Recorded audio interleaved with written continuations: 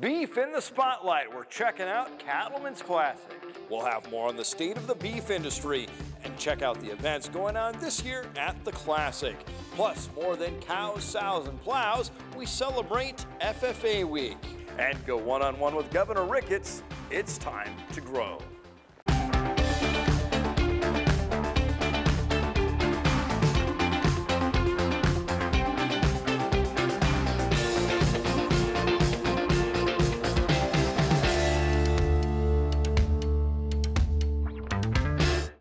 Bringing breeders and buyers together, Cattlemen's Classic has wrapped up. But how is the beef industry doing? NTV's Jessica Stevenson has our top story. Angus bulls coming in on top, lot eight shaper. As a buyer, you would contact me and tell me what you're looking for. As a seller, you would contact me and tell me what you have. And then I try and bring those two entities together. Art has been a broker for many years. That's a really, really high quality type of purebred. He says the marketing industry has drastically evolved over the past decade. Now, internet marketing and video sales are popular. More and more livestock is being marketed uh, via that means with several companies that uh, put on large sales offering many thousands of head of cattle on a particular day. And uh, it provides the buyer the opportunity to select what he wants from anywhere across the country. Art has been coming to the Classic since the beginning. He says shows like this are very helpful for brokers like him.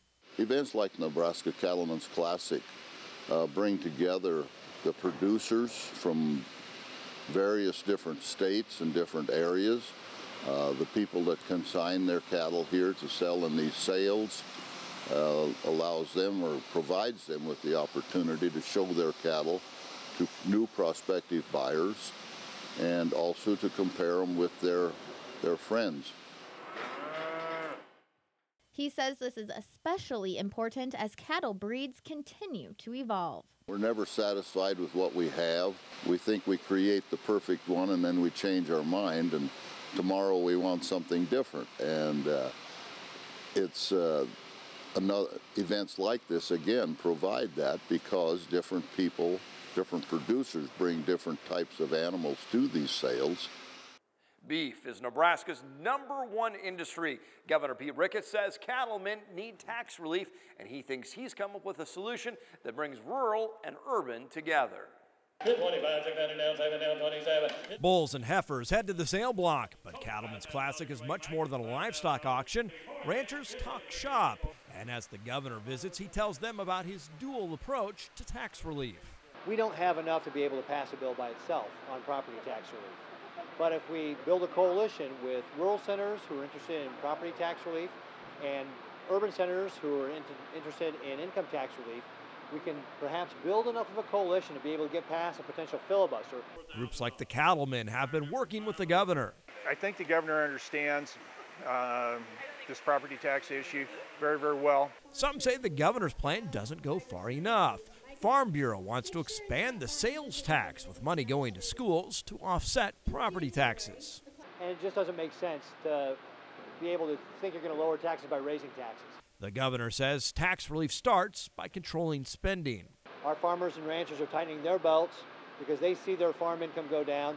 That's what our local entities have to do as well. On property taxes, the governor's bill would factor the income potential of farmland. Troy Stowalter says it's an interesting concept as they wait to see what comes through the legislature. Where we've got a whole bundle of bills that'll involve into one or two, and, and hopefully we have uh, meaningful property tax reform the number of farms in the state is on the decline, but the number of kids involved in FFA has never been higher. Here's a look back at FFA week. Wearing the blue corduroy jacket, FFA kids are used to the comments. All the time they're like, oh, FFA, that's just agriculture. But as a trip to Cattlemen's Classic shows, agriculture is broader than many realize. FFA is not only farming and ranching, there's so many different parts to FFA. I'm going to talk to you about more than an after school club, it's integrated into the curriculum. 176 Nebraska schools offer these courses. More than 13,000 kids in the state will take an ag class this year, and 8,004 are members of FFA, an all time high. You know, FFA is a broad band of educational opportunities for our youth. The manager of Cattlemen's Classic would love to see some kids get involved in raising livestock, but ag classes could also lead to careers in biotechnology, forestry, even using drones to scout crops. There's banking, there's feed opportunities, there's sales. It's not just the production side and events like this open their eyes. When we come to these, it's definitely awesome to be able to talk to people in that career so you can see, oh, maybe I'm interested in ag sales that's something you could talk to someone whose their job is ag sales. Kids really don't know what they want to go into. Maybe some insight on what those business professionals do on a daily basis could steer them in the right direction. More than future farmers, they're future scientists, salespeople, and leaders in their communities. More on Cattlemen's Classic later in the show. Now on to the wild weather from 70 degree days to snow.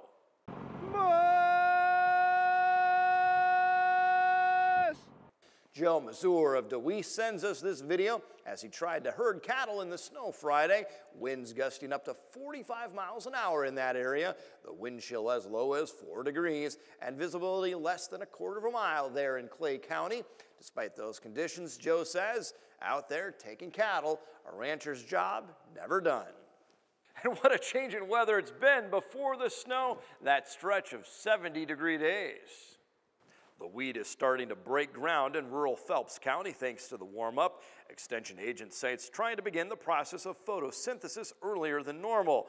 They say while plants can go in and out of dormancy throughout the winter, dramatic changes in temperatures can make a big difference to that winter wheat. It's when we get into those uh, teen temperatures or in those 20s, uh, when we've been at an extreme uh, warm temperature, that could cause a problem. Now, later on development, then those temperatures could be a problem as the plants get bigger. But when they're still small and in the tillering area, uh, those type of temperature scenarios shouldn't be a, a big problem. Extension educator Todd Whitney urges farmers to be patient. On to the national scene where President Trump pledges his support for ethanol.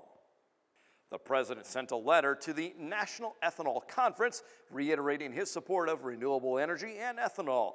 In the letter, Trump also said his administration is working on cutting regulatory burdens. But local farmers do have concerns about the new president's trade policies, with some fearing it could result in a trade war with Mexico, and that could hurt Nebraska's corn growers. And Valerie Juarez has more. Exports are very important for Nebraska agriculture. Amid recent politics and tensions with Mexico, President Donald Trump has talked about renegotiating the North American Free Trade Agreement or simply getting rid of it. But what does that mean for farmers? Anytime that there's tariffs uh, against you, why it, it hurts the amount of product that you can export. However, Mexico may already be looking into trading some commodities with other countries. Mexico is so close to us that it's really, uh, really to both sides' advantage to to trade uh, trade corn or whatever the commodity is. Senator Ben Sasse warns the Trump administration that Mexico is one of the biggest importers of Nebraska corn. We have around 17% or so of, uh, of Nebraska corn that is exported to uh, Mexico. Another local farmer says the state's economy, which thrives mostly from ag, has been on the decline and many are worried.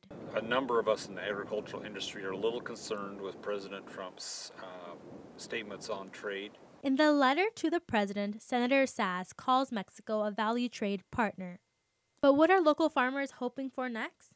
We want to increase our trade. We would like to have free and open trade of agricultural products throughout the world. For NTV News, I am Valerie Juarez.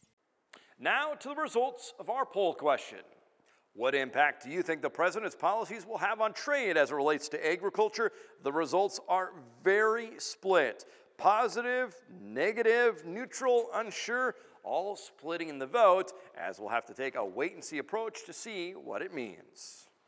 We'll go one on one with the governor coming up next, but first, let's hear from some FFA kids. I'm Ebony Anderson from Gothenburg, and I love FFA because you make connections with people all across this nation. Hi, I'm Dylan Gilming from the Elm Creek FFA chapter, and I love FFA because of the learning opportunities it has given me.